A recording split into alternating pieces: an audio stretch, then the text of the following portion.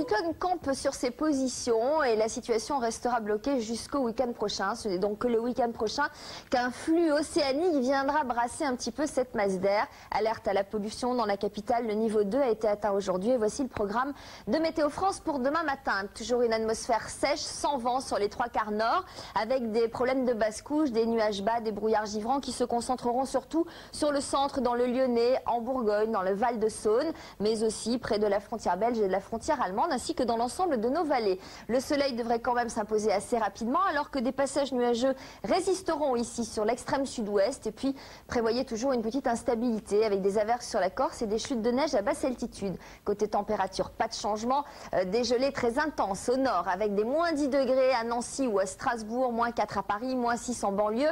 Il fera plus doux dans le sud avec une série de 4 degrés sur le littoral méditerranéen et un maximum de 6 à Nice et à Bastia. Demain après-midi, Toujours le même programme, beaucoup de soleil sur les trois quarts nord, un petit peu de grisaille ici qui fera de la résistance sur le centre ou dans le Lyonnais, des passages nuageux dans le sud-ouest et puis toujours quelques gouttes sur la Corse avec un gros écart de température entre le nord et le sud. Le nord où l'on ne dépassera pas les zéros dans le nord-est. En revanche, le mercure grimpera jusqu'à 13 à Nice ou à Ajaccio. Et puis le programme hors de nos frontières, des chutes de neige à Stockholm. Il fera également moins 10 à Moscou avec quelques flocons. De la pluie à Madrid ainsi qu'à Rabat. Le soleil reviendra à Tunis avec 18 degrés. En revanche, il pleuvra à Rome ou à Athènes. Demain, nous fêterons les Véroniques. Nous serons le 4 février. Excellente fin de soirée. À jeudi soir. Merci. Bonsoir.